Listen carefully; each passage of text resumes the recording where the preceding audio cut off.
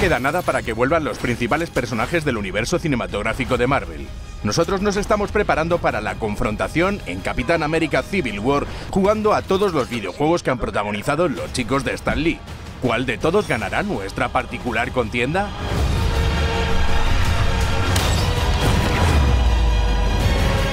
El malo era el Duende Verde, nosotros el trepamuros más famoso de todo Manhattan. La mecánica, bueno, era un poco ramplona. Pero eso no quita que gracias a todo ello tuviésemos esta maravillosa campaña de publicidad.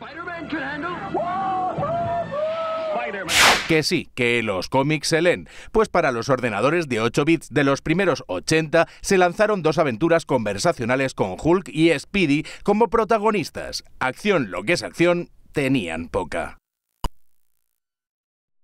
No podíamos evitarlo. Sí, Howard pertenece al universo cinematográfico de Marvel, como vimos en Guardianes de la Galaxia.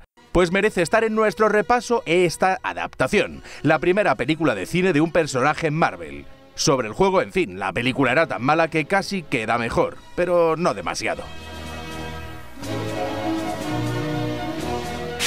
Así de pobremente se estrenó el Capi en el mundo de los videojuegos. El villano, un tal Doctor Megaloman, que tiene una base en el desierto de Mojave desde la que quiere lanzar misiles con virus mortales. Nadie le explicó que los misiles son más rápidos si explotan. La cosa va cogiendo color. Primer crossover entre Speedy y el Capi. Para más Inri se enfrentan a un puñado de enemigos y bueno, para la época hasta podía sentir la acción. Lo mejor que no se inventaron al malo final. Es el mismísimo Doctor Muerto. Bueno, muy amazing, muy amazing no era este juego de Paragon, pero al menos tenía ese toque 8 bits que tanto molaba, en el que contaba más nuestra orientación en potentes mapas que nuestra habilidad de dar a un botón. Pero vamos, que no era muy amazing.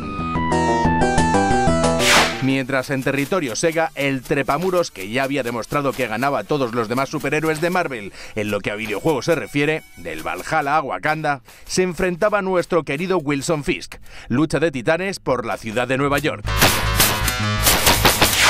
Otro que se puso de moda en los 90 y otro que lucha por la ciudad de Nueva York. Ahora los métodos son algo diferentes. El Castigador tuvo un primer videojuego para NES algo pobre en plan on rails. Bueno, los 90 fueron así. Y el segundo con el mismo título y en el mismo año fue muy similar en el género pero lanzado para los ordenadores de 16 bits de los 90 mientras Data East se marcó una de esas recreativas que se reconocían entre el estruendo de los salones recreativos por su música y su sonido peculiar, una auténtica maravilla de los beaten up cooperativos.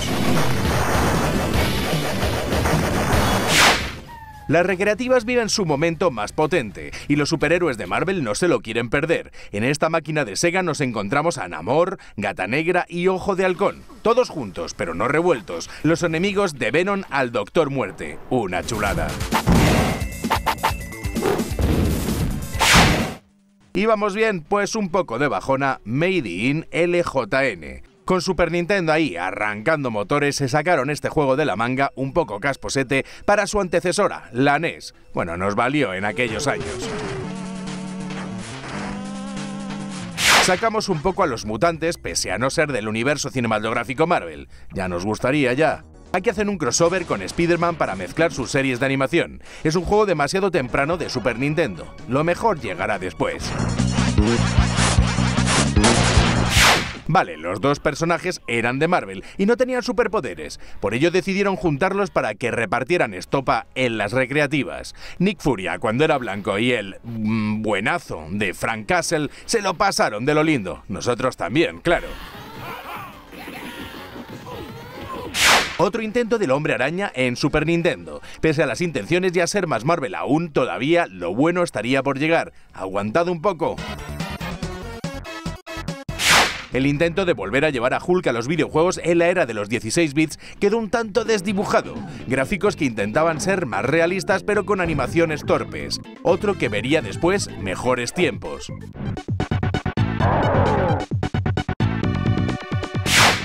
Venom y Speedy se unieron para protagonizar dos videojuegos. La fama del personaje creado por Todd McFarlane era demasiado grande como para que la industria del videojuego se lo saltase.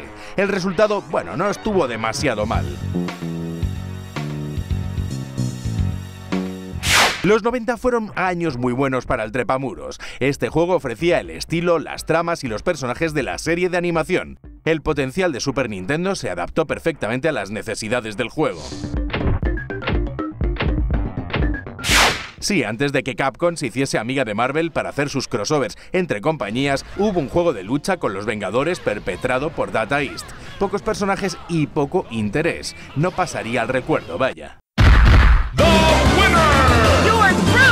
Aquí comenzó el idilio. Para empezar, Capcom enfrentó a todo Marvel contra todo Marvel. Posteriormente a Mutantes contra Street Fighter y al final todo Marvel se vio la cara con Capcom. Todo un clásico de los juegos de lucha. Nuevo arcade 2D en los últimos coletazos de este género antes de que pasase a ser algo exclusivo de las consolas portátiles. El juego estaba bastante bien y demostraba el cariño que le tenía Sega al personaje, pero no es de los más recordados. Todo el éxito de Tony Stark en el cine ha quedado en poco o en nada en los videojuegos. Aquí nos encontramos un juego de scroll horizontal muy poco memorable con un Iron Man no demasiado dinámico haciendo destrozos. Tristemente lo que vendría después no sería demasiado mejor. El Titán Esmeralda sigue sin pillarle el truco a los videojuegos. Le hemos visto en plan conversacional y en 2D pobretonas. Aquí la cosa no mejora. Habrá que esperar un poco a ver hasta dónde consigue llegar el personaje.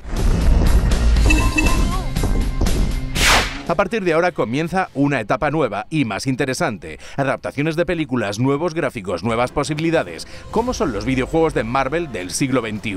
Os lo desvelaremos en un nuevo vídeo de Vandal Televisión. Hasta entonces.